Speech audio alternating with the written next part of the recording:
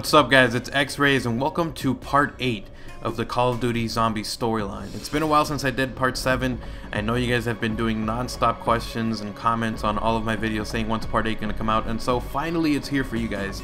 So if you guys could slap a like and a favorite on this video, I would really appreciate that guys. Is one of the few series that I do that take a lot of time to make and on top of that it it's not really released all the time because DLC comes out every three or four months and then after that you know, an Infinity Ward game is going to come out, so you're not going to see another episode till the next uh, Treyarch game comes out. So if you guys could slap a like and a favorite on this video, try to get it out there for people to see, I would really appreciate that.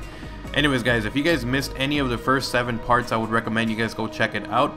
A link to that will be down in the description. All you have to do is click on it. It'll take you to the playlist. You can go watch any episode that you might have missed, or maybe you just want a refresher before you jump into this one. You can do that as well. Go ahead and go through them and then come over here. This is a very long and very confusing story. Uh, so if you guys missed any of it, you might be out of the loop and might be like, what the hell's going on? So go check them out. Come back when you guys are refreshed and ready to go, and then we can start and you get can start listening to this one. Uh, so without any further ado, guys, let's jump straight into what exactly happens in Buried. Alright guys, so Buried throws a lot of information at us. Uh, starting off straight with when you start, we learn a lot about the characters. Uh, first of all, the characters do return, Marlton, Misty, Russman, and Stuhlinger.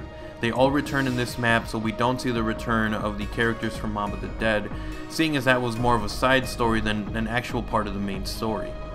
So one of the first things that we do learn about Buried is the fact that it actually takes place after Die Rise. It shows off in the quick cutscene that they went from town to Die Rise and then ended up in Buried. Uh, so Buried is actually the continuation. Uh, there is no kind of time loop. There is uh, a certain time loop going on in the actual storyline, uh, but we'll get more into that into a little bit. But the actual events take place after Die Rise, so there is no uh, going back in time to the past or going forward. It's all pretty much uh, consistent and linear with the storyline. So anyways, we learn a little bit more about Russman. As we all know, Russman is an older gentleman. He's a little on the crazy side, and a lot of people thought he was like homeless or a hobo or, you know, some kind of weird character. But then we learn in the beginning of the cinematic for Buried that Russman was actually an agent for a corporation known as Broken Arrow. I did some research on Broken Arrow and found out that Broken Arrow is a term that is used for an accidental nuclear fallout. So if you guys don't know what an accidental nuclear fallout is, it's kind of like if you go to like a nuclear plant and it has a meltdown and it blows up and there's radiation everywhere. And so the reason that it's referred to as Broken Arrow is because of the fact that they want the world to know that this was not intentional, this was not a nuclear strike, this was not a nuclear attack on anyone, it was simply an accidental leak of radiation or something. So it's kind of interesting that they used the company name uh, that Russman worked for as Broken Arrow. We also learn that Russman is having a lot of of issues with his memory. He does not know what's going on. He uh, forgets what he's saying or where he's at mid-sentence, which is really strange. It looks like he might even have Alzheimer or some sort of, of disease that causes him to forget where he is and who he is. Uh, they they actually mention and they tell him, you know, your name is Russman. He's like, is that my first name or second name? And he's not really sure who he is. It's, it's really kind of disturbing. We also learn that the four characters met up in the town. As it turns out, Russman was driving the bus that we see uh, along with Stuhlinger, Samuel, and they meet up in the town and that's where they basically join up and be, kind of become this crew that they start fighting off. Another thing that we learned throughout the gameplay, uh, you know, as you're playing Buried, there was always a theory going around that Stuhlinger was eating zombies and it's the reason that he could communicate with Richtofen. So as you're playing Buried, you can also hear quotes of, of Samuel saying, uh, you know, stuff to zombies like you smell a whole lot better when you're heated and stuff like that basically alluding to the fact that he did indeed eat zombies and it's the reason that he's able to communicate with Richtofen since the zombies are directly getting, you know, basically the power from Richtofen. Anyways guys, so there's a few other things that I want to cover about Buried uh, before we continue on as to what exactly happens uh, in continuation with the storyline with Dr. Maxis and Richtofen. And uh, there's a few little bit of information that we learn about in Buried.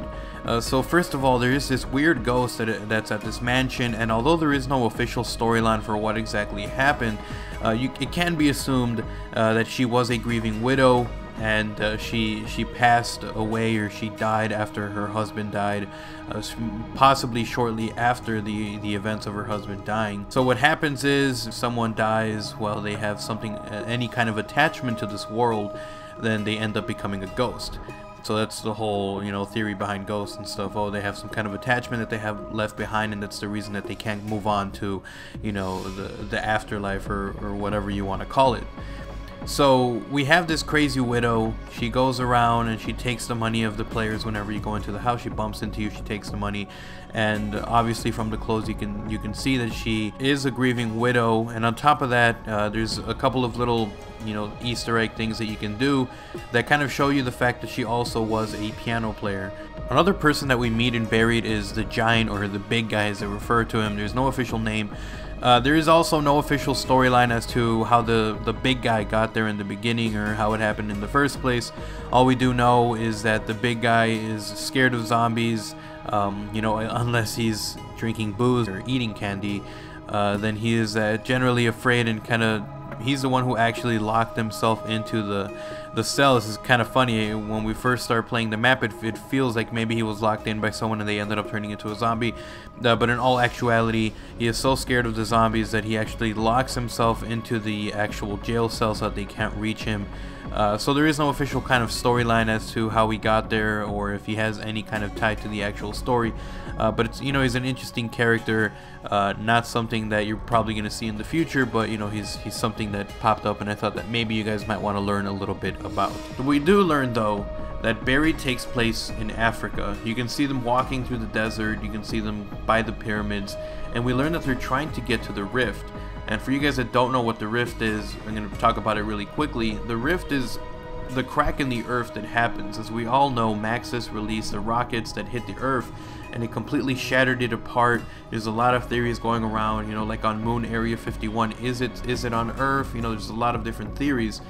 But the point is that the Earth was cracked into multiple pieces and there's these rifts that kind of get to the center of the Earth and it's, you know, everything's really broken apart.